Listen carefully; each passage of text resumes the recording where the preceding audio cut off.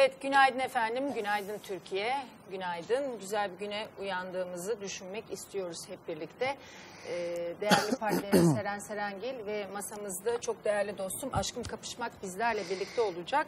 Biraz hayata dair duygulara, e, yaşadıklarımızı nasıl ama nasıl e, kendi içimizde e, içselleştirebiliriz, bu zor günleri nasıl atlatabiliriz, ilişkilerimize yansırken bu durumlar biraz hayata dair konuşacaklarımızla sizi o içinde bulunduğunuz olumsuz duyguların içerisinden uzaklaştırmaya çalışacağız. İnşallah. Evet, e, tabii e, bütün e, ülkemize, e, yurdumuza, her, herkese başsağlığı diliyorum.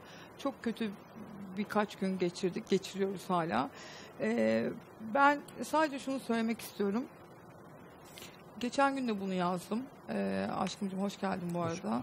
E, adınız hep terörist. Ünvanınız, mevkiniz hep bu ve değişmiyor dedim. Ve e, bu kurşun sıktığınız ülkenin, kurşun sıktığınız vatandaşlarının ve e, bir gün öldüğünüz zaman bu ülkenin toprağını üzerine atıyor bu insanlar sizin. Halbuki maşası olduğu ülkelerde çöp tenekesinde yerleri bile yok. Evet. O yüzden de eee, tabii ki biz kayıplar veriyoruz. Ama sizin elinizde hiçbir şeyiniz yok. Elinizde haysiyetiniz yok, onurunuz yok, eee, toprağınız yok. Hiçbir şeyiniz, vatanınız hiçbir şeyiniz yok. Ve bunu bir hiç uğruna yapıyorsunuz. Çünkü elinizde elde ettiğiniz bir zafer de yok. Evet. Üstelik ben diyorum ki eğer bir savaş davası ne olursa olsun birilerinin eğer bir savaştaysan o zaman de ki ben bu kötülüğü yaptım bunun cezasını da çekeceğim. Sen patlatma kendini. Sen kendini patlatırken o kadar insanı da patlatma. O zaman de ki ben bunun cezasını çekeceğim. Senin yaptığın işin, yaptığın suçun cezasını çekmeye bile cesaretin yok. Evet. O kadar ödlek bir terörist olmuş oluyorsun ki sen. Bunu yazdım geçen gün. O yüzden e, tabii ki e, zaman birlikte durma vakti. E, daha çok biz böyle kötü günlerde çok daha çabuk kenetlenen, ayrı düşüncelerde, ayrı mezheplerde, ayrı Olsak fikirlerde bile. de olsak öyle bir özelliğimiz var bizim. Hiç kimse bizim kadar toparlanamaz ve hiç kimse bizim kadar kenetlenemez. Ee, tekrar tekrar başsağlığı e, diliyorum ve biz dün yayın yapmadık Deniz'le yapmama kararı aldık zaten program olarak ekipçe. Ee, bugün tabii hepimiz işlerimize geri dönmek durumunda olduğumuz için karşınızdayız ama üzüntülerimizi tekrar tekrar dile e, dile getirmeye çalışacağız. Ee, Allah geride kalanlara Amin. sabır versin diyorum. Amin. Yani e, öncelikle günaydın. E, ben de teşekkür ederim. E, ülkenin başı sağ olsun. E, zor zamanlar, zor süreçler ama şunu da unutmamak lazım. Yani e, her zaman korkutan en büyük korkaktır. Yani eğer biri ya da birileri birilerini korkutmaya çalışıyorsa altta yatan en büyük korkaklıktır. Bunu unutmamak lazım. Çok zor. E, bu teröristlerin çalışan en, büyük korkaktır. Evet. Ee, o yüzden de e, öncelikle şunu söyle- söylemek istiyorum. Yani hani e, ideolojiler insanları ve toprakları iyileştirmek için vardır. Dünyadaki tüm ideoloji. Adı üzerinde ideoloji. Bir ideolojim var. İdeal arkasından gideriz Aynen öyle. Yani bunun Aşkım? amacı zaten insana yatırımdır. Ama terörün ideolojisi olmaz. Ee, geçen gün e, az önce arkadaşlarla da konuşuyordum. Böyle bir birkaç gündür böyle haberlerde derin araştırma iniyorsun ister istemez. E, İngiltere'de ve İrlanda'da yapılan terör saldırılarında e, teröristler e, mahalleyi, semti arıyorlar. Diyorlar ki bomba atacağız. Lütfen çocuklar ve kadınlar çıksın oradan. Bizim davamız işte şunla bununla diyorlar. Terörün etiği olmaz belki ama bu yapılan bambaşka bir durum. Gerçekten öyle. Oldu. Bunlar terörist bile değil ya. Başımız kesinlikle öyle. Başımız sağ olsun ama bir acı yaşıyoruz ülke olarak. Bu acının tabii ki psikolojik e, reaksiyonları olacak, sosyolojik reaksiyonları olacak ama her şeyden önce belki naçizane kişisel şunu söyleyebilirim ki e, aynı kanaatte olduğunuzu düşünüyorum. Acının olduğu yerde acı evine gidince dedikodu yapılmaz, eleştiri yapılmaz. Onun yüzünden bu yaptı denmez. Sadece acı yaşanılır. Şu an vatan acı evi gibi. Bir acemi varsa lütfen konuşacak çok şey olabilir ama susmak en iyi erdem olur böyle zamanlarda. Çünkü o anneler, o evlatlar daha babalarını toprağa yeni yeni verdi. O yüzden lütfen suçlu aramak yerine gün birlik zamanı, beraberlik zamanı, herkesin gözyaşı kiminki dışına, kiminki içine. Bugün herkes işine gitmek zorunda. Sizler işinizi yapmak zorundasınız. herkes yapmak zorunda. Algı operasyonlarına gelmeyecek bu ülke. Herkes işini devam edecek. Sanat sanatına, ekonomi ekonomisine, anne anneliğine, bekçi bekçine devam edecek. Bu tamamen 44 şehit verilir ama 70 milyonu da zihinsel yok etmek içindir. Biz yok olmayacağız. Sonuna kadar böyleyiz. Biz dediğin çok güzel. Acıyı yaşarız ama düştüğümüz yerden de kalkma edebiliriz gerçekten. Birliğin olduğu yerde insan vardır. Kimlik yoktur, din yoktur, ideoloji yoktur. Ben inanıyorum ki insan odaklı olacağız ve insan sonuna kadar gideceğiz. Ben bir şey de anlamıyorum. Yani neye hizmet ediyorlar? Sonunda neyi kazanmışlar? Neye kazanabilmişler? Terör hiçbir zaman Bunlar kazanmaz. ki mevkisiz ne kadar aşağılıkça bir durum ki terörist olarak bahsediliyorsun. Hani Evet. zafer kazan. Şimdi bunlar bir de neye üzülüyorum biliyor musun? Böyle her e, haber kanalında falan diyor ki Tabii, bizden tabii, bahsediliyor. tabii, Ama tabii. seni o kadar yani zavallıca ve e, Aciz. aciz bir şekilde bahsediliyor ki arkanızdan Aynen yani. öyle. O yüzden Aynen aşağılık bir terörist olarak bahsediliyorsun sen. Hani sen bir zafer bir şey kazanmış değilsin. Senin zaferin nerede? Senin vatanın nerede? Senin toprağın nerede? Sen kimsin? Neye kazan? Ne yapıyorsun? Ve yıllardır bunu yapıyorsunuz. Ne elde ettiniz? Ben bunu da anlamıyorum. Bunu Aynen. da anlamış değilim yani. O 40 yüzden- yıldır bu dava devam ediyor. 40 yıldır e, sürüyor Dün sonuçta. Numan Kurtuluş zannediyorum konuşurken duymuştum ya da isim yanlış verebilirim. Çok önemli bir ayrıntı söyledi. E, hiçbir zaman insani şartlarda yaşamamış. Hep Evet. mağaralarda saklanarak insan insan gibi yaşamaktan uzak söylediğin gibi bir ideolojinin peşinden gittiğini düşünerek, Düşünerek, evet. sadece düşünerek beyin yıkanarak belki sebep ne olursa olsun insanın e, insanın hayvana bile kıyamadığı Kesinlikle. bir ortamda insanın insana kıydığı bir durumu zaten bizim analiz etmemiz mümkün değil. E, biz biraz da e, aslında polisimizin yanında olduğumuzu gösterecek bir bantla devam etmek istiyoruz. E, ama ben banttan önce tek sadece söylemek istediğim şey şudur ki Star TV ekranlarının çok değerli ismi Nazlı Çelik'in Evet. e, ana haber bülteninde yaptığı konuşma sosyal medyada paylaşım rekorları kırıyor. İzlemeyenlerin izlemesini gerçekten çok isterim. Bence sözün bittiği yerdir maalesef. Hepimiz üzülüyoruz. Evet düştüğümüz yerden kalkıyoruz. Ama tabii ki acımızın da büyüklüğünü göz ardı edemiyoruz Edemeyiz, efendim. kesinlikle. Evet, e, ünlülerimizin polisimizin yanındayız e, hashtag ile yaptığı paylaşımlar, e, bir fiil aynı zamanda e, polisiyle omuz omuza yan yana görüntüleri var. Bu görüntülerin hepsini sizlerle paylaşmak istiyoruz. Neden? Çünkü bildiğiniz gibi bu terör saldırısı e, öncelikle evet sivil vatandaşlarımızın da ölümüne sebebiyet verdi ama tabii Asıl hedef. rakamların üzerinden gitmek istemiyorum ama 36 polisimizin e, şehit olmasına sebep oldu. Çok üzücü. Onlar olduğu için polisimiz sokaklarda olduğu için her sabah biliyor musun aşkım Seren e, ben biliyorsunuz beş buçukta Evet. Koşuya gidiyorum. Ee, geçen gün e, bir e, hamile bir kadına da saldırı oldu biliyorsunuz Manisa'da. Hemen sabah Demet Akalın bana mesaj attı. Denizciğim dedi sabahları gidiyorsun bu koşuya ama ben çok rahatsız oluyorum. Ben hep şu cevabı verdim. Polisim benim yanımda. Ben de polisimin yanındayım. Ünlü isimler e, polisinin yanında olduğunu gösterecek Gösterecek. paylaşımlarda bulundu. Biraz istersen daha sosyolojik bir içerik olduğu için Tabii. aşkım ünlülerin böyle olaylarda yani toplumsal olaylardaki yeri nedir? Ne Evet. yapmalıdır? Nasıl bir duruş sergilemelidir? Sen biraz önce sessiz kalmak sükunet dedin ama e, sanatçının bence burada farklı bir vasfı olmalı değil Yani mi? burada sessiz kalmaktan kastım şeydi. e, bir acı yaşanırken işte bunun sebebi budur. Yok işte bunu bu kahretsin gibi konuşmalardan. Hep suçlu aramak, Evet suçlu aramak kutuplaşmak doğru değil. veya- Evet. E, şunu söyleyeyim. Sanatçı e, siyasetin peşinde gitmez. ideolojinin peşinde gitmez. Ama sanatçı insanın peşinde gitmek zorunda. Bravo. O yüzden e, bu yaşanılan olayda gerçekten insan öldü, polis öldü. E, başka bir dava olsaydı, ya başka bir hani e, spesifik bir örnek vereceğim belki ama işte küçük bir etnik grup için yapılan bir şey olsaydı anlayabilirdim. Terör olmasaydı. Ama sanatçı sanatını bırakıp e, burada gerçekten insani vasfı. Şu an sen vatandaşsın, insansın. E, artık polisin, emniyetin, askerin. Yani siyasi fikirlerini de bırakıp değil mi? Her şeyi bırakmak zorundasın. Her şey. Burada sadece yani sanatçı hepimizin yapması gereken bir şey. O yüzden şunu söyledim. Siyasi suçlu aramak acıyı ertelemek demektir, paylaşmamak demektir. Bir hafta sonra devam et siyasi davana. Sonra bir şey söyleyeceğim. Eleştir, Bütün beğenmiyorsan beğenme. Yani bundan iki ay önce, üç ay önce Paris'in göbeğinde de patladı. New York'ta bu ikiz kuleleri yani bazen bir şeyler de E Serencim, önüne geçilemiyor yani. Şunu söyleyeyim, Paris'te hatırlıyorsan o patlama olduğunda tüm Türkiye sanatıyla, siyasetçisiyle Paris Eyfel Kulesi yaptı sayfalarına. Aynen. yaptılar. Niye bugün hala bunu paylaşmayanlar var? Ben burada bir art niyet arıyorum bu sefer. O yüzden bu sanatçı ya da değil. Şu an vatan. Konu vatan. Konu insan.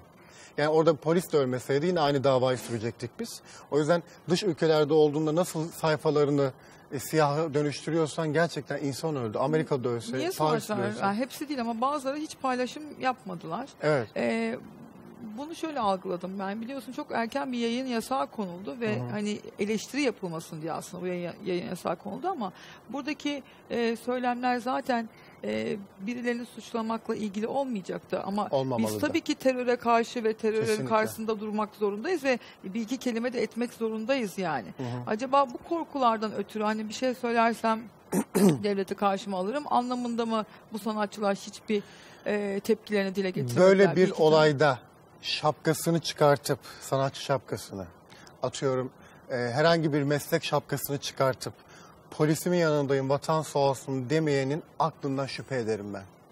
Bana kimse şunun açıklamasını. Bakın burada ilim bitiyor, burada bilim bitiyor, burada akademi bitiyor, burada sanat bitiyor. Burada, başka konum bir dava bitiyor, var. her şey burada bitiyor. her şey bitiyor. Konum Ha. bitiyor, statü bitiyor. O- Bitiyor, aynen. yani dünden beri ben de gittim. Siz de zaten izliyorsunuz, oradasınız sürekli. O- oraya gelen insanların kimi kim acaba? Hangi meslekten, hangi konumdan? O yüzden eğer oraya eleştirilirim diye ya senin eleştirme korkun varsa vatan derdin yok zaten. Kusura bakma.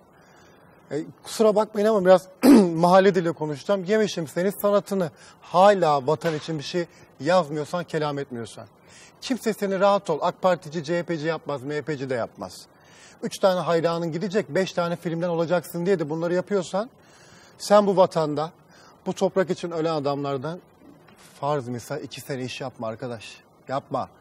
Şimdi, Geçeceksin bunları. e, Herkes aynı bayrağın altında aynı davayı gütmek, A- aynı acıyı yaşamak Aşkımcığım zorunda. çok güzel söyledin. Tamam biraz da galiba aslında bu sosyal medyada e, klavye silahşörlüğü yapmak ya da aslında e, ortamda böyle bir aslında birlik zamanıyken e, kişilere geçmişte yaptıklarını hatırlatma zamanı mıdır? Neden? Çünkü Murat Boz e, bir paylaşım yapmış. Hemen mesela bununla ilgili Evet, fikrini e, sormak istiyorum. Çünkü bir toplum bilimcisi olarak senin de buradaki e, duruşumuzu aslında hem eleştirmeni hem de yol göstermeni istiyoruz. Murat Boz'la ilgili şu, Murat Boz şöyle bir paylaşım yapmış. Bu vatanı vatan yapan şehidimin kanı bu yüzyıllardır böyle. Ve bizler buradayız. Burada olmaya da devam edeceğiz. Korkmuyoruz demiş. Güzel. Arkasından sen bedelli askerlikten yararlanmak için Alman vatandaşıyla evlenip sonra bedelli yasası çıkınca boşanan Murat değil misin diye bir cevap gelmiş. Aslında biz bunu Seren bu arada tebrik ediyorum. Ben bu konudan bir haberdim. Geçen gün Seren aslında biraz üstü kapalı. Murat'ı da galiba kırmamak için üstü kapalı geçtim biraz. Şimdi hemen tabii e, burada böyle bir hatırlatma var. Hatta devamı var. Bedelli askerlik için 40 tık- takla atan adamsın. Korkmuyoruz buradayız falan diyerek milleti kendine güldürme. Şimdi burada hata yapan kim? Evet, tabii ki hata yapan e, o takipçi, o yorum yapan kişi. Evet. E, bir kere şey çok önemli. Yani insanı geçmişten vurmak hala derdin başka bir şey. Yani o klavye slash, e, slasher'ı diyorsun ya, hala davan başka bir şey. Yani burada senin de helal olsun demen ya da hiç cevap vermemen gerekirken yaptığın şeye bak. Bir kere askerlik bedelli haktır. Kullanan kullanır, kullanmayan kullanmaz. Kimse de bedelli hakkı kullanan vatan haini diyemez. Yani yarım asker diyebilir miyiz? Ya her şey diyebilirsin ama vatan haini diyemezsin. Diyemezsin. Bu, böyle bir şey olabilir mi ya? Böyle bir devletin kanunların koyduğu bir haktan bahsediyorsun. Evet. Devletin verdiği bir hak E, bu. ama gerçekten bu tüm dünyada geçerli bir şey ve burada uluslararası NATO anlaşmasında olan bir şey bu yani baktığında. Sen bunu yok sayamazsın. Ha başka bir niyet vardır oradan vurursun, oradan yürürsün ayrı. Ama şimdi sanatçı tweet atmış, sanatçı bir şey paylaşmış. Sanatçının niyetini ve samimiyetini de kimse bilemez. Neden samimiyetsizlikle sorguluyoruz? Bak aslında Çünkü sanatçı hep eğleyen, eğlenen, oynayan, zıplayan. İşte e, bir de şöyle bir kitle var onu da söyleyeyim. Bunu Seren iyi bilir. Bütün millet şey zannediyor. Bir şatonun içinde bütün ünlüler oturuyor, oturuyor. Herkes birbirine haberdar. Herkes aynı şeyi yapıyor, aynı şeyi yaşıyor gibi. E, Bunu geçen gün de söyledi biliyorsun aklıma gelmişti. E, öyle bir dünya yok. Sanatçı sürekli eğlenen biri olamaz ki. Sen sürekli eğlenebiliyor musun? Seren sürekli eğleniyor musun? Sürekli davada mısın? Böyle bir şey- dünya yok yani. O yüzden e, ben onları da çok kale alması alınmamasından yanayım açıkçası. Çünkü biliyorsun sosyal medyanın e, giriş e, anketlerinde ya da işte formlarında akıl sağlığıyla ilgili bir ibare yok. E, Böyle bir testten geçmiyor. E, sağlıklı olan da, sağlıklı düşünen, düşünemeyen de bu mecrada baktığında ve herkese açık. Bir tüy yok oranın çünkü. Herkes istediğini yazıyor, istediğini söyleyebiliyor. Ama konumuz Murat Boz'un tweetin değil, konumuz e, vatan üzerine konuşulacak, birlik beraberlik çağrısını yapabilecek e, nefeslere ihtiyacımız var. Sanatçıymış, değilmiş hiç önemli değil.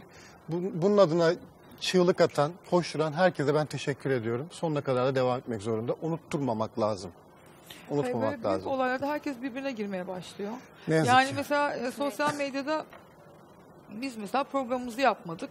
Tabii ki duygularımızı, düşüncelerimizi dile getiren yazımızı yazdık falan. Tabii ki. Şimdi ertesi gün hayatımıza herkes işine gidiyorsa Devam biz de edeceğiz. işimiz bizim de burası. Ee, biz de gelmek zorundayız. Mesela yazıyor adam. Sen diyor magazin konu. E, Yani bu benim işim bu. Hı hı. Ben buraya gelmek zorundayım. O zaman sen de işine gitme bugün. Yani o kadar saçma sapan birbirine müdahale ve hani herkes e, tabii ki çok üzülüyor. Evet. Ama sen o zaman e, bizim sayfamızda dolaşabildiğine göre Sen hayatında bir şekilde devam, Devam ediyor. ettiriyorsun. Yani o kadar saçma sapan böyle enteresan e, Seren, şeylerimiz var ki ben bu Böyle acılarda bak acıyı yaşayacağız ama işe devam etmezsen, hayata devam etmezsen istenileni yapmış olursun zaten. Aynen. Yani Aynen. zaten buna Ben bu tepki taraftayım. dimdik duruştan ne? Dünden beri dik durun diye bir mesaj var ortalıkta. Dik durmak nedir? Anne analığına, baba babalığına, çalışan çalışanlığına, sanatçı sanatına. Ama demiyorum ki 9-8'lik eğleniyoruz. Anlatabildim mi? Herkes hayatını Sen tabii devam sen ne yapıyorsun? Kelimeleri azalta azalta. Toplantılar yaptınız sabah. Evet. Virgüllerini kıra kıra. Noktasını azalta azalta. Aynen. Bu nereye gider? Bu hassasiyettir. Aynen. Sen de yazan kişi buralara yorum yaparken bekçi bekçiliğinde, o kulübesinde, bu evinde az az çok konuşmayacağız belki ama yine insanlar işini yapacaklar. Bazı davalara girmeyeceksiniz, bazı davalara girecek. Ya gündeme şekillenmek diye bir şey var. Bu demek değil ki Deniz Akkaya, Seren Serengil ya da ünlü herhangi bir kişi acı yaşamıyor. Acıyı da kusura bakmayın makyajla, televizyonla, ekranla algılayamazsınız. Magazinden eğer böyle bir eleştiri yapıyorsanız o zaman siz de oturup evinizde, iş yerinizde başkalarının hayatlarını konuşmayacaksınız. Kendinizi konuşmayacaksınız. Suskunluk değil ki bizim çözümümüz. İnadına, inadına her şey, yaşam, her şey devam edecek. E, eleştirenlere de şunu söylüyorum. E, bakın terör sadece fiziken bir yeri yok etmez. Terörün asıl amacı Allah bir daha göstermesin 10, 20 birkaç kişiyi yok edip yani katliamdır bu sonuçta. 80 milyonun zihnine Psikolojik bir evet yıkım yaratmak. terörün amacı budur zaten. Bir polis eşi e, o kadar çok etkilendim ki diyordu ki bunları asmazsanız hakkımı helal etmem. Evet. Gerçekten e, bunların idam edilmesi gerekiyor yani. Çünkü zalime merhamet edersen mazluma ihanet etmiş olursun diye bir laf var. aynen, o kadar aynen, doğru ki. Aynen öyle. Yani çünkü bu, bununla bu- hani bazen işte kadına şiddetle konuşuyoruz. Onu da konuşuyor. Trafik bile en, en değil mi? En hafif şey trafikte bir insanın ölümü diyelim mesela. Evet, hani. evet, evet. Hani bunun için bile yaptırımların, cezaların eee, çok daha artık üst boyutlara gelmiş olması gerekiyor diye Kes- düşünüyorum yani. kesinlikle, kesinlikle. Bunları şöyle meydanda asacaksın bunları böyle. Gerçekten. Çünkü başka türlü olacak gibi bir şey değil yani. Adam zaten ödlek olmasa kendini patlatmaz. Vururum herkese kurşuna dizsinler beni derim davam için yani. Hani bir kadın olarak bir adam arkasından bile vurmam ki korkak derdi. Bunlar nasıl bir insan türü? İnsan Aynen. değil de yani. Aynen aynen o Evet. sözü unutmamak Çok- lazım. Korkutan korkaktır. Bu kadar da Evet çok güzel gerçekçi bir, bir söz. e, cümle vardır severim. Zalimler için yaşasın cehennem, Cehennem. Evet. diyelim ve biraz önce e, aslında aşkım kapışmağın da söylediği gibi hayat devam etmek zorunda. Bu psikolojik savaşı hep birlikte el ele tutuşarak el ele yeneceğiz. Ama tabii ki kelimelerimizi, noktalı virgüllerimizi kendimize hep hatırlatarak. Evet. Bunun da bir örneği var. İsterseniz onunla devam edelim. Maalesef ki bu terör saldırısını haberini aldığı anda sahnesini yarıda bırakan sanatçılarımız var. İzleyelim üzerine de hep birlikte konuşalım. Şöyle yapalım mı Hülya? Hülya şöyle yapalım mı? Bugün buradaki misafirlerimize söz verelim. İleriki günlerde tekrar güzel günlerde burada İnşallah. Ege- Muhakkak öyle olacak. Tabii ki öyle olacak. Çünkü içeride de bir sürü insan var. Ee, bilmem. Bilmiyorum. Benim canım istemiyor şarkı söylemeyi. Çok özür diliyorum sizden. Çok özür diliyorum. Gerçekten çok özür diliyorum. Ama Cenk başlamışken sen istiyorsan devam eder misin? Bilmiyorum. Şöyle yapalım mı Hülya? Hülya şöyle yapalım mı? Bugün buradaki misafirlerimize söz verelim. İleriki günlerde tekrar güzel günlerde burada İnşallah. Ege- Muhakkak öyle olacak. Ki öyle olacak. Çünkü içeride de bir sürü insan var. Ee, bilmem. Bilmiyorum. Benim canım istemiyor şarkı söylemeyi. Çok özür diliyorum sizden. Çok özür diliyorum. Gerçekten çok özür diliyorum. Ama Cenk başlamışken sen istiyorsan devam et- eder misin? Bilmiyorum. Neler söyleyeceksiniz? Ben ne diyeceğim, ne söyleyeyim, ne söyleyeyim ki çocuklar ya. Yorum yapmak istemiyor arkadaşlar lütfen. Duygularınızı alalım işte Hülya Hanım. Pardon, biraz geri- insanın çıka, yani insan hare- hareket etmek istemiyor gibi bir duygu, garip bir duygu yani. Ee, çok hayat devam ediyor, biz de devam etmeliyiz diyenler olsa da. Benim için devam edemedi yani bilmiyorum doğru mu yaptım, yanlış mı yaptım. Hani doğru yaptığım yüzde yüz de doğru yapmadığımı düşünen insanlar için beni o bugün gelmiş olan insanlar açısından düşündükçe anlam veremiyorum.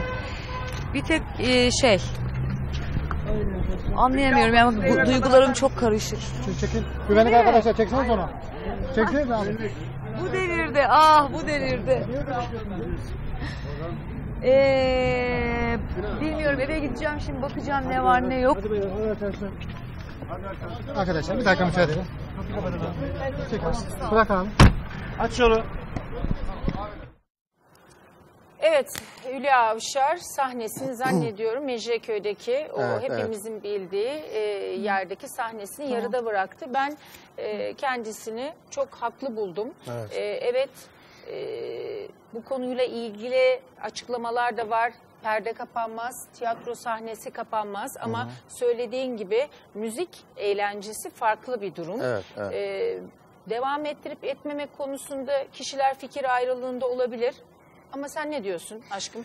Ee, bu da önemli bir durum var. Ben de o, o akşam Mecidiyeköy'de bir oyundaydım, tiyatro oyunundaydım.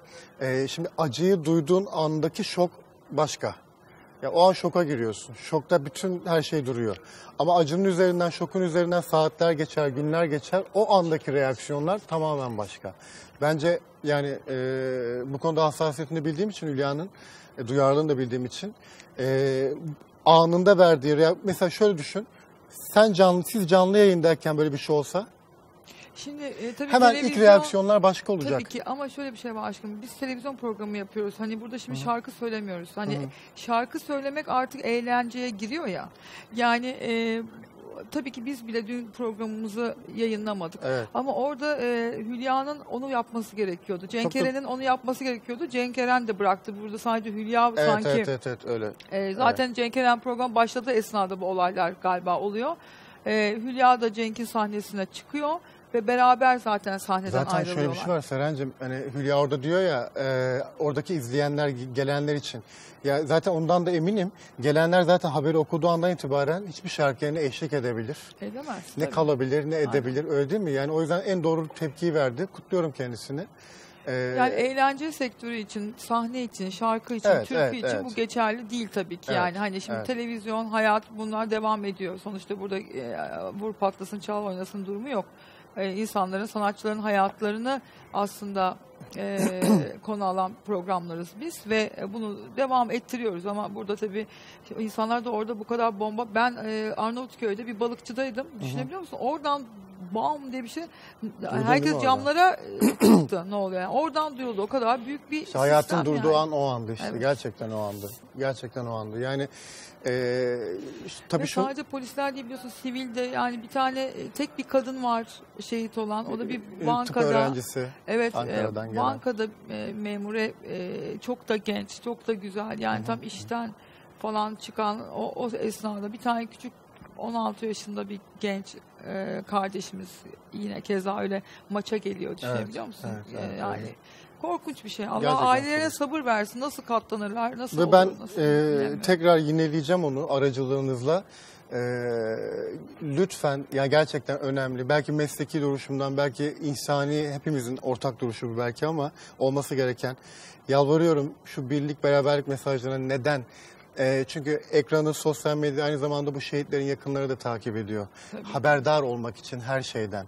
O yüzden her bir söylem onların da acılarına bence biraz e, deşmek gibi bir Tabii şey oluyor. insanlar birbirlerine birbirimizle Eğer kavga bir edeceğimize Anne baba vatan sağ olsun diyebiliyorsa Tabii, orada tabii. o acıyı yaşayan kişi Aynen. babanın gözyaşları içinde oğlum vatan için gitti diyebiliyorsa burada lütfen kimse siyaset Yani yapmasın. artık bence en de azından. hani birbirini suçlamak yerine mesela işte Beşiktaş Kulübü kupa maçının gelirini şehit Bağışlayacak. ailelerine bağışlayacakmış. Evet, evet, çok evet. güzel bir hareket. Ben çok hoşuma gitti. O gün herkes e, bilet alacak mesela. Hı hı, o bilet e, onların da geliri polis şehit e, ailelerine bağışlanacak. Para her şeyi hafifletir mi böyle bir acı diyenler olacak. Onlara da şunu söyleyeyim. Yok, yani Bir ölü evine gittiğinizde ölü evindeki o insanların o gerçekten o kucaklamasıdır en ilk ihtiyaç. Bunu da biliyoruz hepimiz. Çünkü biri ölüp gittikten sonra hep şunu dert ederiz. Şu gelmedi cenazeme. Bu gelmedi cenazeme. İnsanın o kucaklamaya ihtiyacı vardır.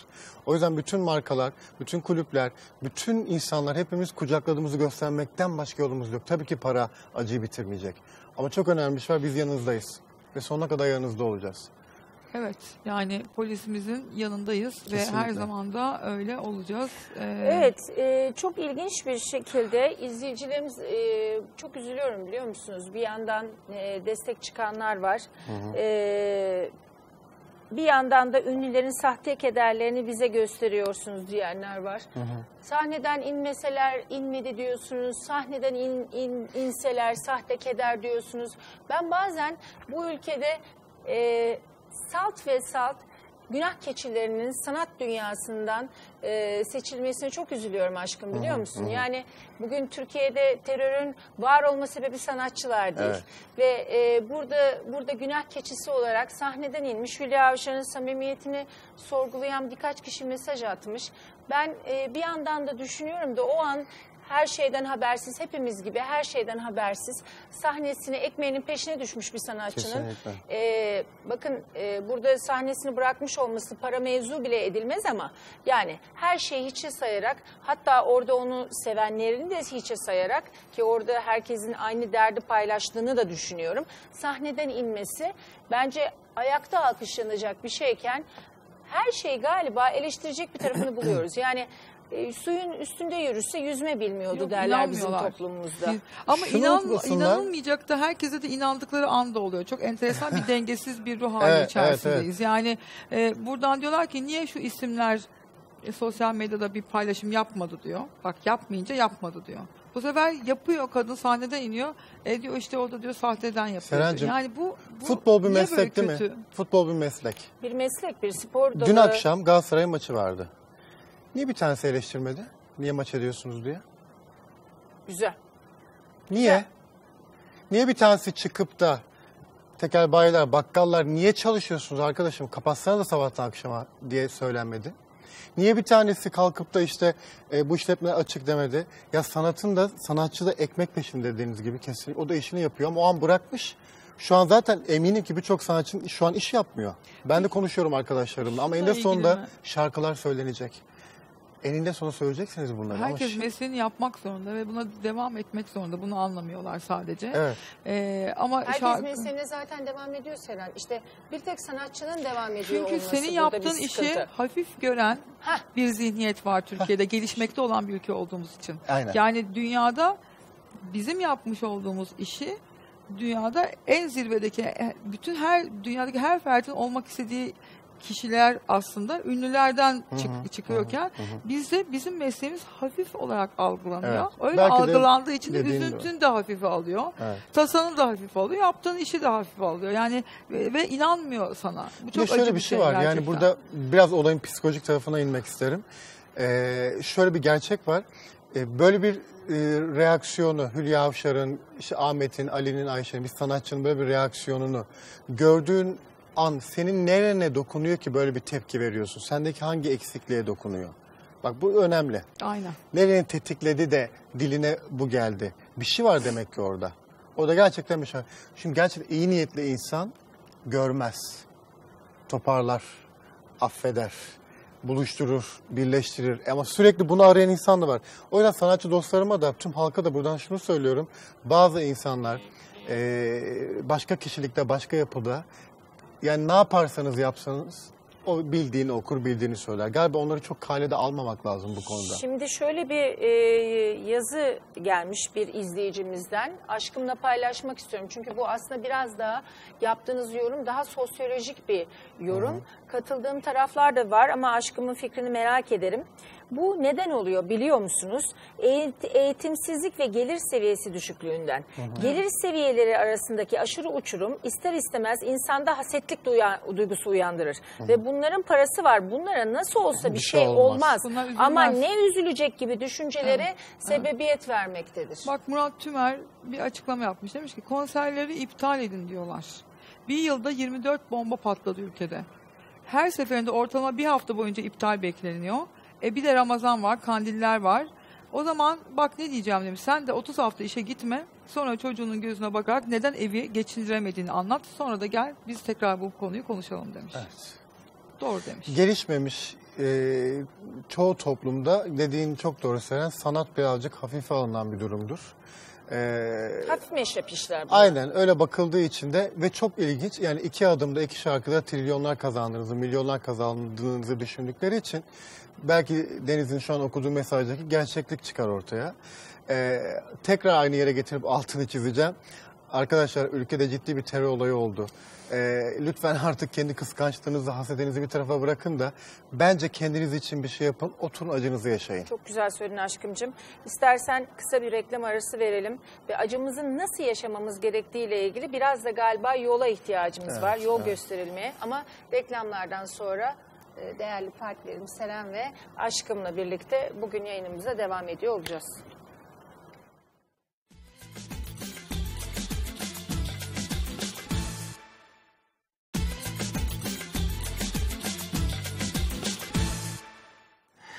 Evet efendim duymayan kalmasın bütün hızıyla devam ediyor. Bugün, dün yayınımıza ara vermiştik.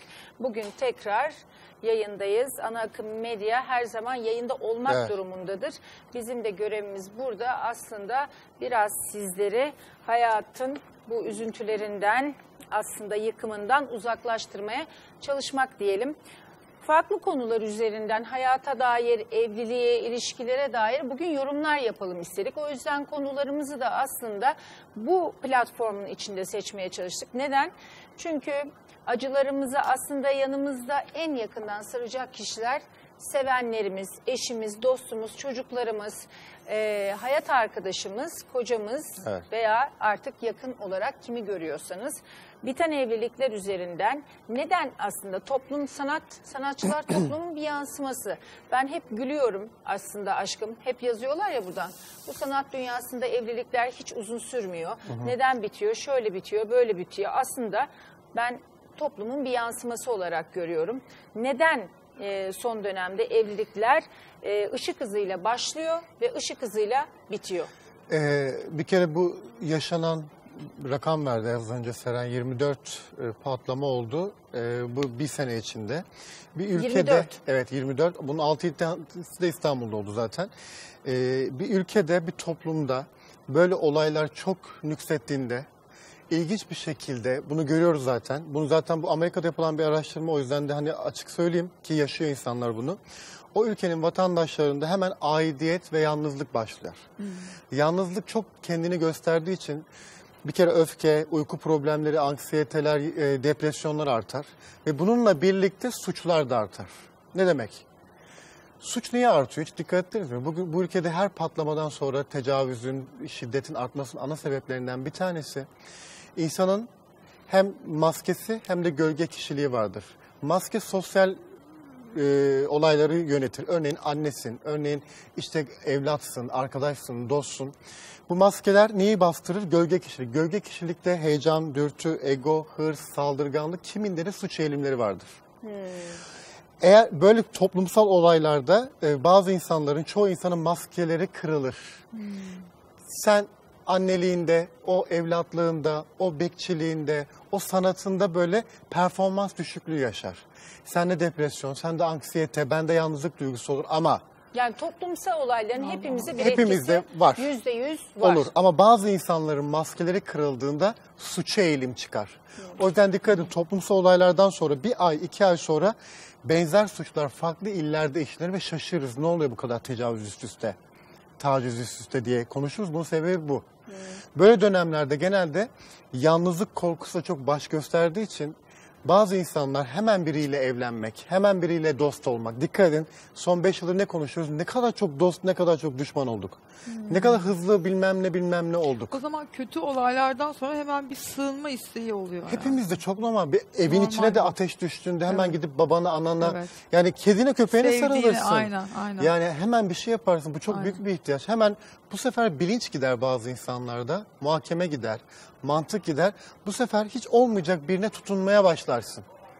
İşte bu tutulmanın sonunda da işte böyle e, problemler çıkmaya başlar. Olay korku, şiddet, algı kendini bitirdikten sonra kişi gerçeği görmeye başlar. Orada da kavgalar başlar. Evet şimdi aslında buna birebir örnek bir e, aslında ünlü bir e, evlenme var. ve boşanma davası Evet. var. Fakat öncelikle değerli izleyicilerimiz ben biraz önce bahsetmiştim. Bizim kanalımızın gerçekten ben medarı iftiharı güzel temiz yüzü olarak görüyorum. Nazlı Çelik'in terör saldırıları ile ilgili Star TV ana haber bülteninde yaptığı konuşma sosyal medyada Kesinlikle gerçekten izlenmeli. büyük yankı uyandırdı. Çok fazla telefon ve e, talep geldiği için bu konuşmayı bir kez daha sizlere vermek, sizlerle paylaşmak istiyoruz. Arkasından bu hızlıca başlayan aslında belki bir e, bir kendimize bir avuntu, bir e, Sığınak. sığın- Sığınak. sığınak olarak gördüğümüz evlilikler neden bu kadar hızlı başlıyor ve bitiyor? Bunları konuşmaya başlayacağız. Buyurun. Bugüne kadar pek çok kelime kullandık efendim. Sinsice dedik, haince dedik, yetmedi kahpece dedik. Kelimeler bitince sözün bittiği yer dedik. Söz bitti ama terör bir türlü bitmek bilmedi. Tek bir şehit için yeri göğü yıkardık bir zamanlar. Şimdi nefeslerimizi tutup rakamı bekliyoruz. Onlarcaya öyle alıştık, alışmak zorunda bırakıldık ki 38 şehit.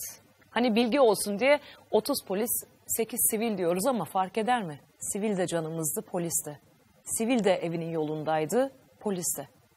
Ailelerine hatta çocuklarına gideceklerdi. Her gün her birimizin yaptığı gibi.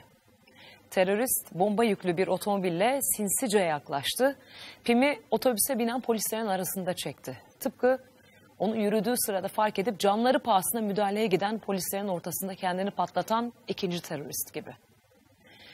Bu ülke 30 yıldır bu belayla uğraşıyor. 30 yıldır ateşin düşmediği ne şehir kaldı ne kasaba.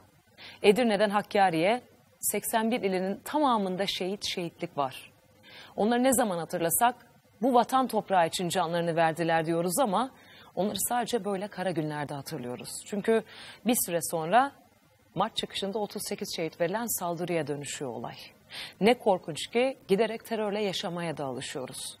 Şehitlerin birer ismi olduğunu dahi hatırlamakta zorlanarak. Tam da bu yüzden alışma Türkiye, alışma. Evet. Çok güzel Ne dile kadar getirmiş derin, gerçekten. e, ne kadar e, samimi ve içten anlatmış. Yani e, az önce konuşmaya biraz getirmek istiyorum konuyu izninle. Aklıma geldi hani söyleyince sen de niye bu hale geliyor evlilikler, ilişkiler ve ben biz niye bu hale geliyoruz diye. E, dikkat edin hep cenazelerde barışlar daha çok artar. Küsüyle barışır, düşmanıyla barışır. Bir hani sadece gelirsin işte dersin ki başın sağ olsun her şeyi affetmeye başlarsın ya. Hemen böyle aman hayat boşmuş deyip ürettiğin acılardan vazgeçersin gerçek acıyı gördüğünde ya. Ee, o yüzden e, tekrar sesleniyorum aracılığınızla. Bu dönem öyle bir zor dönem ki acımızın yanında ciddi psikolojik problemlerin de yaşanacağı bir dönem. Yaşanacağı değil mi? Evet. Aklımıza mukayyet olmamız Olmak gereken bir dönem. zorundayız. Yani birbirimizi deşmek yerine bir kere herkes şunu yapmak zorunda. Hepimizin şu an uykuları, kaygıları, kendimizle ilgili değil, vatan kaygısı, evlat kaygısı, şehit kaygısı çoğaldı. Bu işe yansıyacak. Bu anneliğine, babalığına, her şeye yansıyacak. Bu durumu gerçekten yani bu pay bizim de, bu bedel bizim de biz de ödüyoruz. Evet. O yüzden sağlıksız, yanlış, hızlı kararlar almamak lazım. Zım. Şimdi buna çok güzel bir örnek. Biz değerli izleyicilerimize aslında hayatı ünlü isimler üzerinden konuşuyoruz. Çok e, seni sevdiğim, e, sevdiğim benim e, bu sabah toplantıda da birbirimize telaffuz ettiğimiz hepimizin aklında kalmış bir cümlem var. İki cümle. Hızlı başlayan hızlı biter Evet. ve ne sebepten başlarsa bir ilişki aynı sebepten biter. biter. Şimdi biraz önce söylediğin gibi bu terör saldırıları e, döneminde içerisinde zaten 40 senedir maalesef başımıza bir bela bu. E, fakat evliliği 4 ayda biten bir ünlü e, müzisyen, şarkıcı, sevdiğimiz bir isim var. Tuğba Özerk. Senin şimdi bu biraz önce sarf ettiğin iki cümle aklımıza geldi hemen toplantıda. Evet. Bu örnekten yola çıkalım. Ne kadar çok dost, ne kadar çok düşman olduk. Çünkü Tuğba Özerk e, menajeri Altan'la e, sürpriz bir e, nikah yaptı. Aslında başka bir isimle, bir avukatla nikah yoluna girmişken herkes onunla nikahlanmasını beklerken bir anda bu nikah mevzusunu bir kenara bıraktı ve evlilik kararını menajeriyle aldı. İsterseniz izleyelim, üzerine konuşalım kuralları nerede başlamalı, nerede bitmeli, bazı sorular sorulmalı mı? Bence buna dair yapılmış en güzel bant. Çünkü biz e, kendimiz sabah izlerken ikiye ayrıldık aşkım. Sen olayın neresinde duracaksın merak ediyorum. Mahsun Kırmızıgül'e Gülben Ergen sorulursa. Ben konserde neler söyleyeceksiniz? Daha önce dinleme fırsatı bulmuş muydunuz? Yok, ilk kez Çok sevdiğim sanatçı. Filmimizin de vizyon tarihine çok az kaldı efendim. Neler söyleyeceksiniz? Fragmandaki ilk tepkiler nasıl? Her şey çok iyiydi. Gülben Ergen'in yıllar sonra tekrardan setlere dönmesi. Çocuklar ayaküstü konuşmayalım isterseniz olur mu? Peki son olarak Erhan Bey'in bir açıklaması hani daha doğrusu gün gazetelerde çıktı. Sizle filminde oynadığı için tartıştılar diye Gülben Hanım. Siz bana böyle her şeyi sorarsanız ben yine konuşmamaya döneceğim de. Peki çok teşekkürler.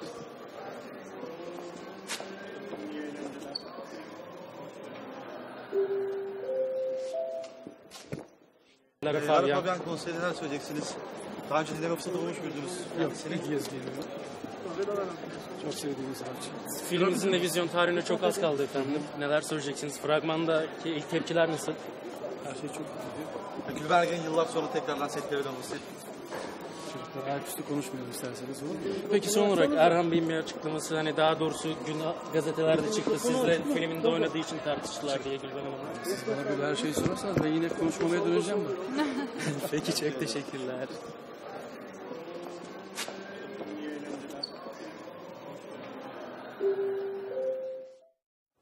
Evet aba altından sopayı gösteren Mahsun Kırmızıgül kibarca ne diyor? Hepimiz kardeşiz mi diyor. Evet Lara, Lara Fabian konserine hepimiz kardeşiz. Ee, yani onu şey yapıyor yani onu e, temsil ediyor oraya gitmesi Mahsun'u. çok Evet. tatlı. Ben işini çok beğeniyorum Mahsun'u. Ay, ben de çok beğeniyorum ama e, şunu hep konuşuyoruz biliyor musunuz? Bu aslında çifte standartı özellikle Cengiz Semercioğlu ile de tartışıyoruz. Kendisi de zaman zaman yapar. Yaptığını da kabul eder. Bir çifte standart var sanatçılara karşı. Var, var. Yani şu sanatçıya şu soru sorulmamalıdır. B sanatçısına da ölümüne her soruyu sorun 10 kere sorun kafası var Bizde galiba. de Deniz'de ne kafası var biliyor musun? Bizimle alakalı onlar mesela açıyorlar. e, diyorlar ki işte Seren'le Deniz bizim hakkımızda konuşmasın. Dedikleri anda Daha bir dürtü daha çok geliyor. konuşuyoruz biz yani. Bizi çünkü biz susturulamayız yani. Şöyle mesela bizim ben e, bir kanalla anlaşırken baştan diyorum ki benim yorumlarıma veyahut da söyleyeceklerime eğer e, müdahale ederseniz Evet. benim kimliğimi alırsınız benden o zaman olmaz diyorum ben. evet. Mesela yani yıllar boyu hep böyle oldu.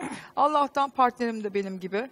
Yani bize birisi bir şey mesela söylediği zaman gerçekten çok sevgiyle daha çok konuşmaya başlıyoruz. böyle bir şeyimiz var. Şimdi burada ben Masum Kırmızıgül'ü çok seviyoruz. Bu Evet, masada evet. herhalde herkes Kesinlikle öyle. hemfikirdir. Şu olay önemli ama Ee, bazı haberler yapılırken gerçekten hani görmezden gelelim. Bu kişiye bu soruyu sorma. Ben artık bu sistemin kalktığını ve çöktüğünü düşünüyorum Bir Türkiye'de. iki kişi için hala devam ediyor. Ba- Bir, bir iki gazete, Onu da biz bir iki çökerteceğiz. kişiyi onu da biz çökerteceğiz zaten az kaldı. evet. Şimdi e, aşkımcım bu- burada şunu tabii e, irdelemek istiyorum. Magazin dünyanın her yerinde hatta İngiltere'de Türkiye'ye nazaran çok daha sert yapılıyor. Magazin gazeteciliği. Mahsun Kırmızıgül'e Gülben Ergen'le ilgili soru sormakta etik kurallar içerisinde bir hata var mıdır? Ya burada e, şunu söyleyeyim ben sana. Artık Mahsun Kırmızıgül, aslında hepiniz sizler, yani bütün camia, gelecek sorunun alt niyetini, arka niyetini çok iyi biliyorsunuz. O sorun nereye gidecek çok iyi biliyorsunuz. Yani Gülben Ergen'in oyunculuğuyla ilgili hiçbir şey sorulmadı orada. Tabii. Oyunculuğu çok önemli bir yani oyunculuğu olmadığı için daha önce e, yani aslında Ya çok iyi niyet- oyunculukları var da. Niyet yani o orada. değil. Arkadan zaten evlilikle ilgili bir soru geleceği için kendisinin oraya çekilmesini istemiyor. Hmm. Burada bir yönetim var sonuçta. Bir iletişim yönetimi var. O da onu yönetmeye çalıştı orada. Yani burada etik, ahlak bilmem ne. Ya Mahsun Kırmızıgül'e göre etik değildir. Ama Peki. Seren Serengil'e göre etiktir. Sorulabilir Peki mesela. ama şöyle bir şey ben yapacağım hareketlerin sonucunda gelecek olan tüm tepkilere ve sorulara hazırlıklı olmam gerekiyor. Şimdi benim birisi eski sevgilimse daha boşanmadan da benim koluma girip bir galaya gidiyor ise ben bu soruların bana geleceğini ben mesela bilmek durumundayım. Gelir gelir bu mesela. saatten Hani sonra olabilir. artık bunun Gelecek, önüne gelecek. geçilmez. Aynen, Yani. önüne Ee, geçilemeyecek. aşk Ben Belki... belki için söylemiyorum bunu ama genel anlamıyla eğer bir hareket yapıyorsan arka- arkasından o bununla ilgili soruların gelmesi muhtemel bazen değil cevap midir? vermemek de haberdir. Evet.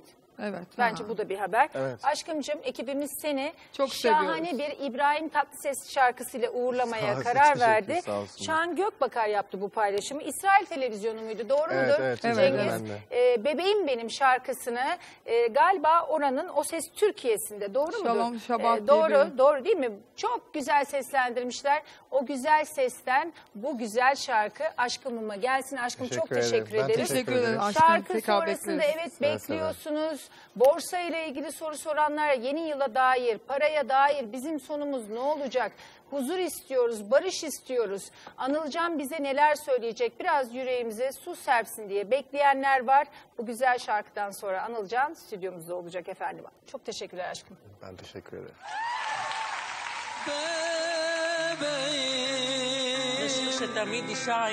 Sana gönlümü verdim Sana ömrümü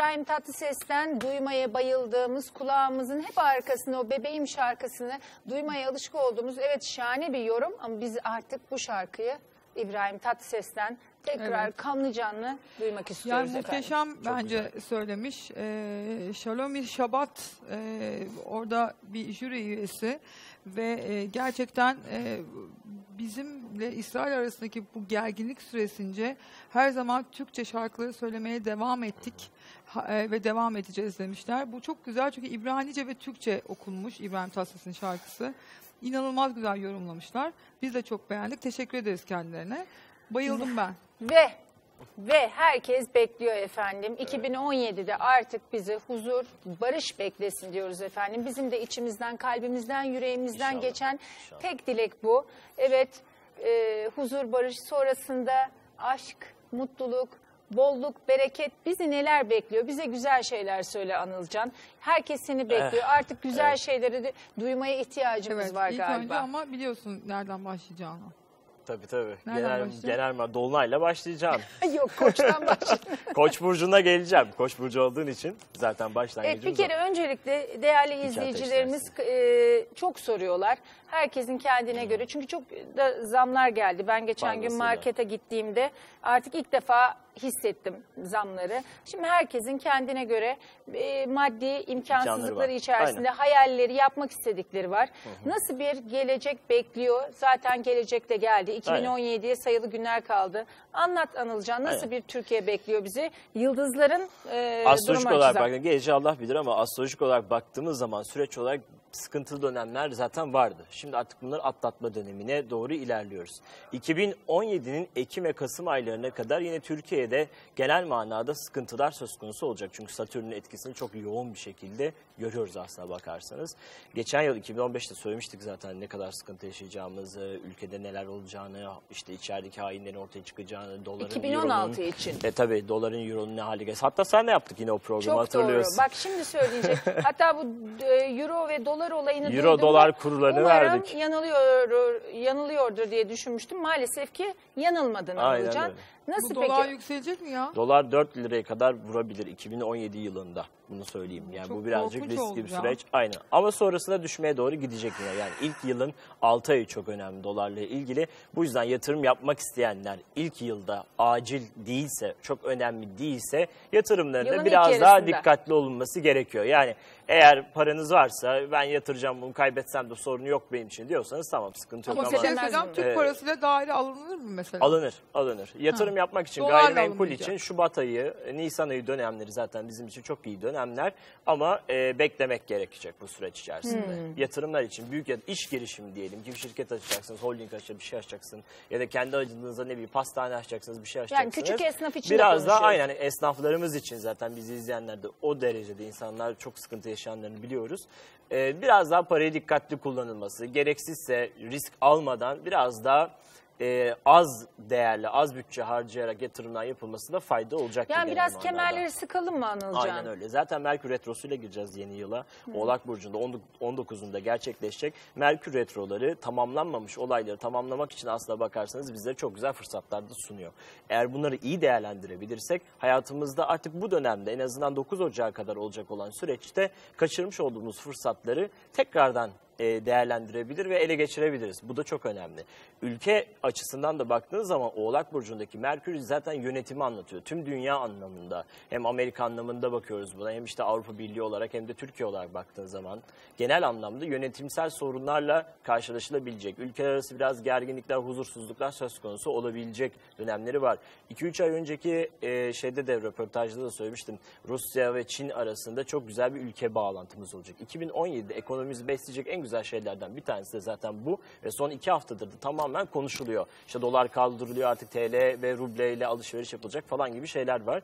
2017 yılı içerisinde Çin ve Rusya ile yapacağımız iş ticaretleri, ticaretler çok fazlasıyla o noktaya kayacak ve Amerika ve Avrupa Birliği bu durumdan çok fazlasıyla rahatsız Yani olacak. Çin'le e, şey ticari ne ilişkilerimiz yapıyor? Biz hangi Rusya. programda? Aynen.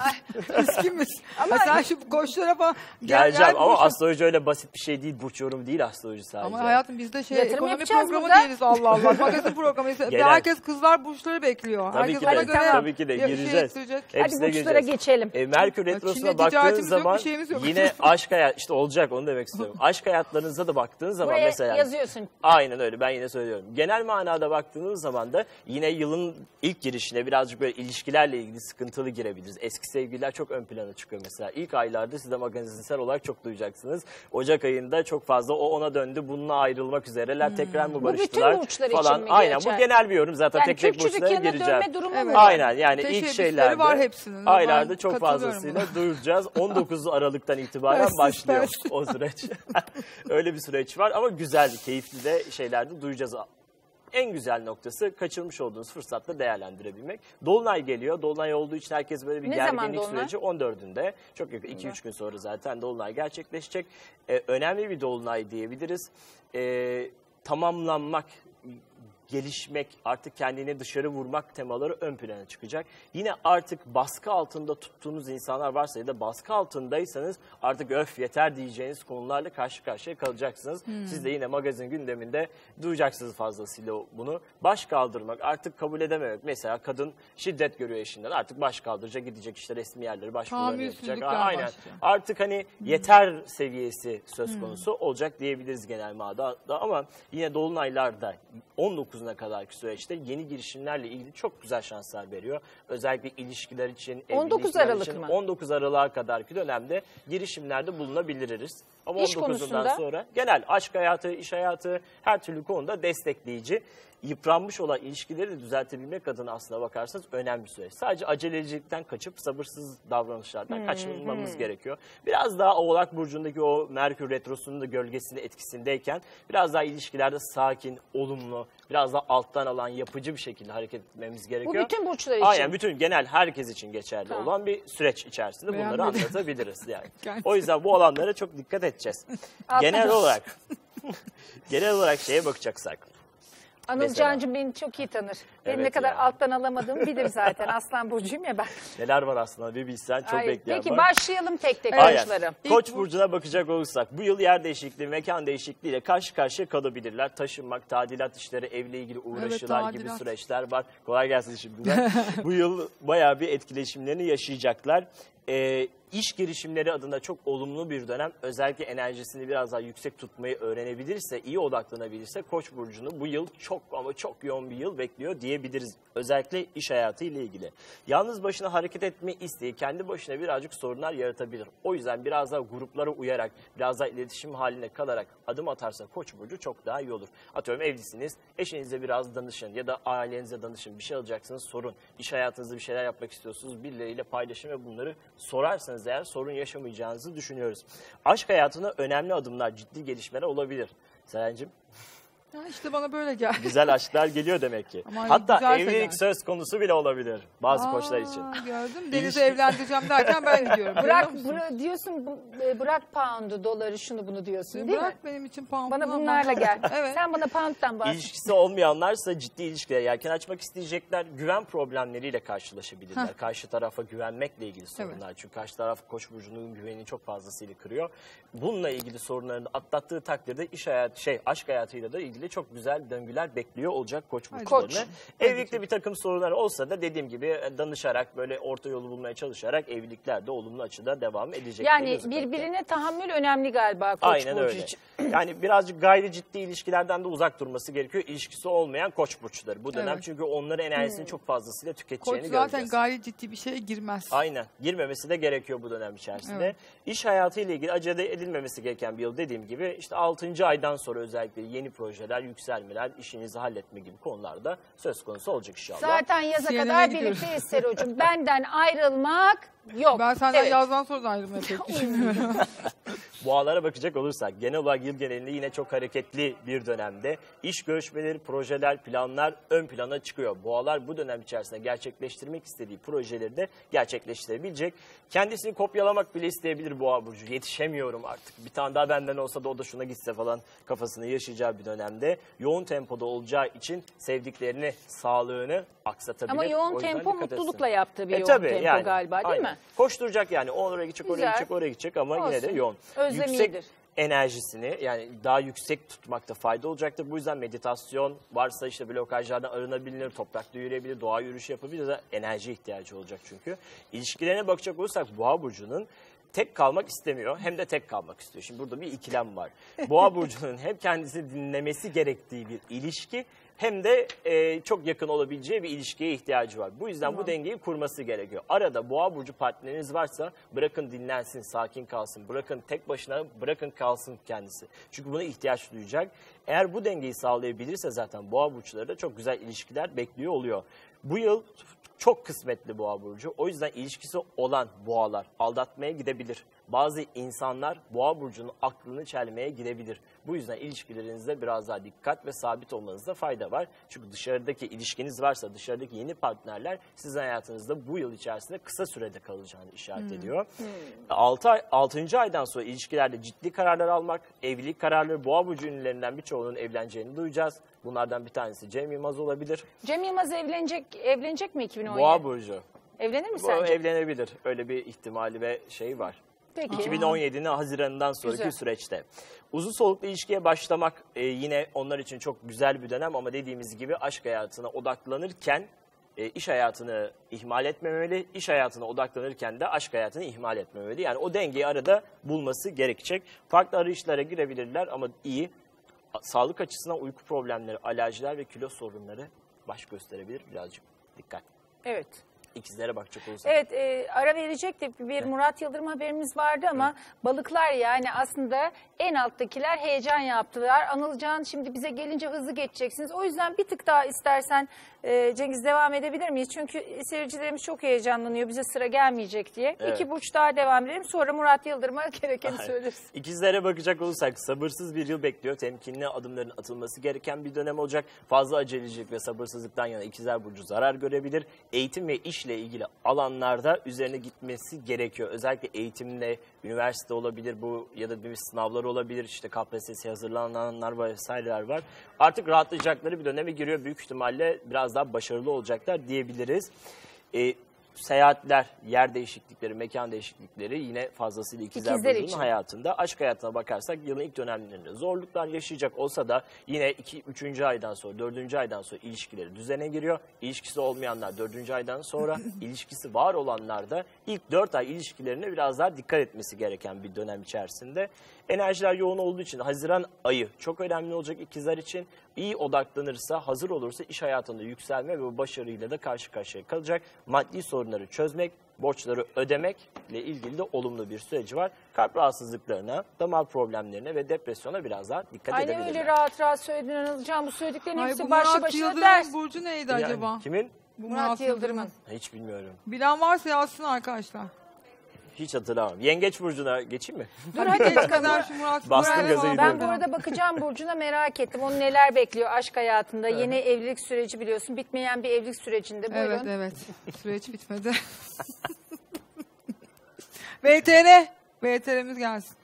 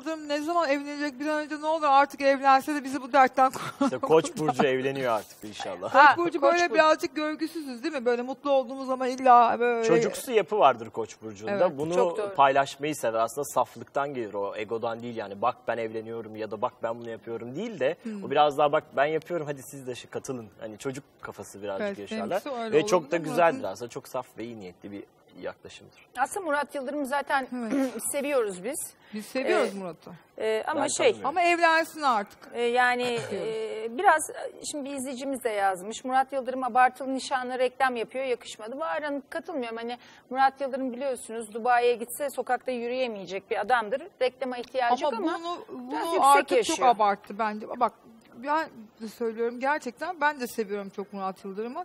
Ama bu kızı alıp böyle her dakika televizyonlarda falan olması bu kadar çok fazla olmadı mı artık? Bence bir an önce Evet. evlensin de bu iş- Maşallah nazara gelmezler inşallah. Evet maşallah. Peki yengeçlerle Yengeçle devam devam, ediyorum. edelim. Yengeçler için bu yıl daha dengeli bir yıl oluyor. Özellikle iş bulamayan yengeçler bu dönem içerisinde fazlasıyla iş sorunlarını çözebilecekler. Harika haber bu.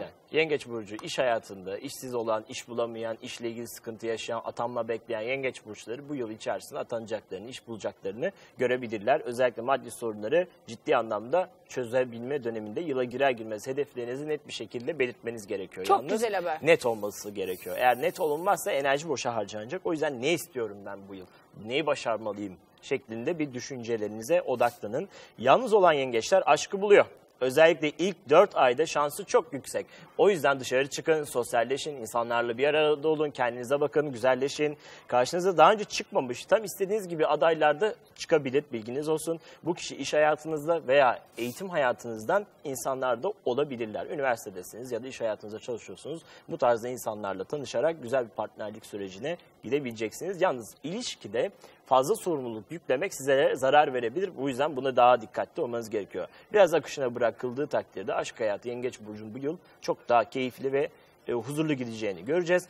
Pamuk ipliğine bağlı olan ilişkilerde ilk 4 ay bozulma durumu söz konusu olabilir. Revize ihtiyacı olabilir. Tekrardan bir gözden geçirilebilir. Bu gibi dönemler yaşayabilirler biraz huzursuzluklar ama olumlu oldukları sürece beklentilerini ve sorumluluklarını dengeledikleri sürece sıkıntı yok. Maddi sorunları dediğimiz gibi çözüyorlar. Ee, sıkıntı yok. Geçmişten gelen sağlık problemleri olan yengeçler doktor kontrolünde mutlaka kalmalılar. Özellikle Haziran sonrası psikolojik rahatsızlıklar ve mide sorunları da ön plana çıkabilir. Bu alana da dikkat edilsin. Peki küçük bir ara, ara verelim Aslan'dan önce. Bir magazin haberimiz var. Tabii. Kalıyor çünkü. Hı hı. Ee, Emel Sayın ile Bülent Ersoy bizim programımızda aslında Bülent Ersoy'un açıklamasından sonra değil mi Deniz? Bütün Evet. 30 yıllık bir sırrı açıkladı Bülent Ersoy. Ee, dedi ki e, Emel Sayın zamanında e, benim işte savcılığa götürüldüğüm bir gün e, benim yerime program yapsın diye. e, Askeri gazete- şubeye galiba. Evet askeri şubeye miydi? Galiba askerlikle ilgili bir konuydu Askerlik, ya. evet. Evet yanlış hatırlamıyorsam. Neyse hani o o çok önemli değil. Önemli olan hani e, Emel Sayın'ın e, o yokken sahnede sarf etmiş olduğu laftı. Evet onun Şimdi- yerine sahneye çıkıyor. Evet evet. Demişti ki işte e, şimdi gerçek bir kadını izleyeceksiniz demişti. Bunu da Bülent Hanım çok içerlemiş e, o zaman. Ama sonra seneler sonra tekrardan Emel Sayın yeni bir konserde e, işte e, diva kim falan sahte diva mı var falan deyince artık o 30 yıllık sırrı içinde Bülent Ersoy tutamadı. Bir e, VTR gelsin üzerine tekrardan e, yeni bir şeyler söyleyeceğiz. Diva polemiğine Emel Sayın'dan cevap geldi. Geçtiğimiz hafta sonu Bostancı Gösteri Merkezi'nde konser veren Emel Sayın, konser esnasında gerçek diva sizsiniz diyen bir hayranına sahtesi de mi vardı diyerek diva polemiğinin fitilini ateşlemişti. Emel Sayın daha sonra espri yaptım sakın bana kızma diye açıklama yapsa da Bülent Ersoy'u kızdırmıştı.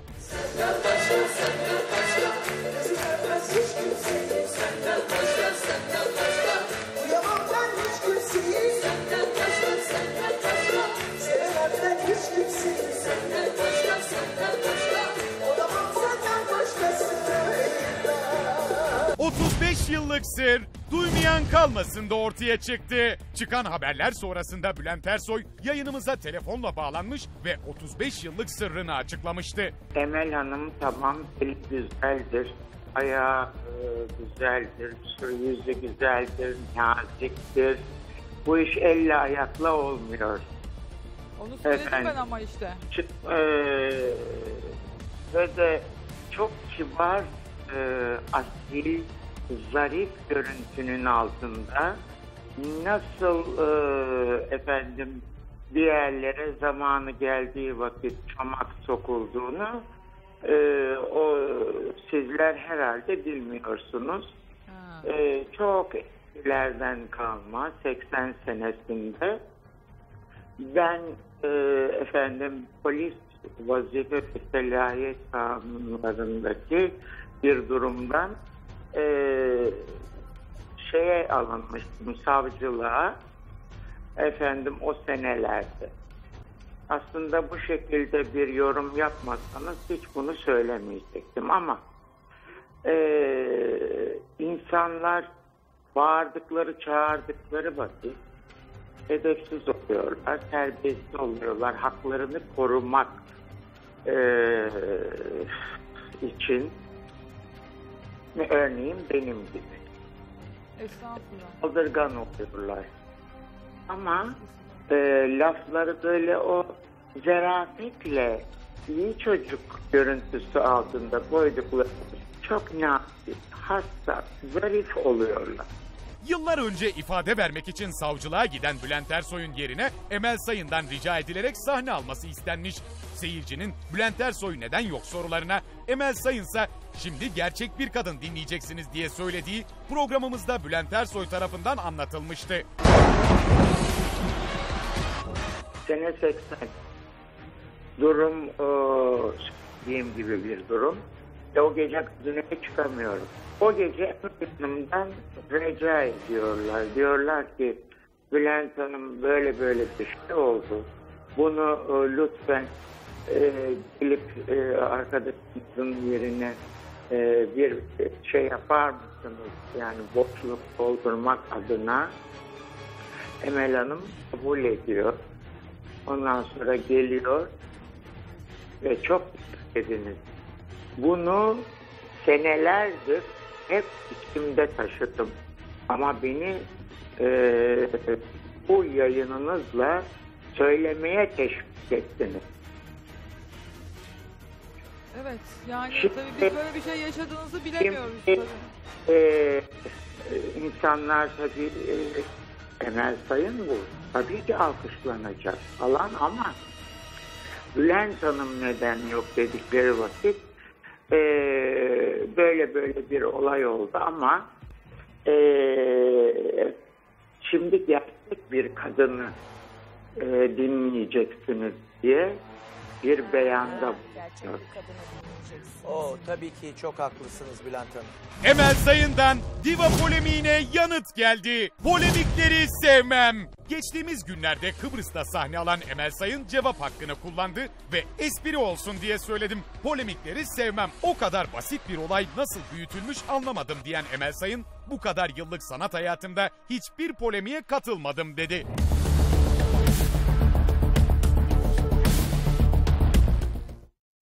Evet efendim. Ee, ben burada e, tabii e, Emel Hanım'a saygımız, sevgimiz sonsuz ama e, Bülent Ersoy'un özellikle bu ülkede yaşadıkları, taşıdığı bayrağı nedeniyle yani temsil ettiği e, aslında geçtiği zorluklar nedeniyle bu konuda e, çok alıngan olmasını normal karşılıyorum. Türkiye'de gerçekten nereden nereye geldiğini, ne şartlarla, ne zorluklarla, ne büyük savaşlar vererek buraya geldiğini hepimiz biliyoruz. Bu konuda alıngan olması da çok normal diye düşünüyorum. Bir de e, sonuçta yani e, hiç durup dururken e, bu lafları sarf etmiş değil veyahut da bu açıklamayı yapmış değil Bülent Ersoy. Yani Emel Sayın'ın konserinde bir hayranı diva sensin diyor. E, aa, o, o da kimmiş yani sahte diva mı var diyerek zaten aslında e, polemiği başlatmış oluyor. Çünkü böyle bir polemiğin karşısında böyle bir lafın karşısında Bülent Ersoy'un da şaka da olsa ki geçmişte böyle yaşanmışlıkları varmış e, cevapsız kalmayacağını düşünmeliydi aslında Emel Hanım. Herhalde orada bir boşluğa düşmüş olabilir ve Bülent Hanım da bu gerçekleri açıklamak durumunda kaldı. Yani değerli sanatçılar hepsi e, bunlar olabiliyor.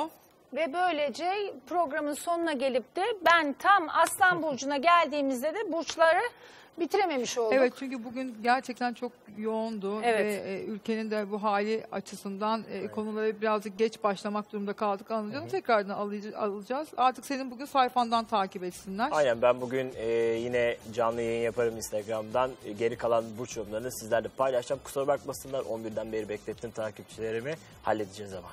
Ay, Çok kapatacağız. teşekkür ederiz Teşekkür efendim. ederiz. Yarın Çok sağ sabah ol. biz yine yayındayız. Yine sevgili partnerim ve değerli ekip arkadaşlarımla birlikte sizin karşınızda 9.45'te hazır nazır olacağız efendim. Yarın sabah görüşmek üzere. Görüşmek üzere.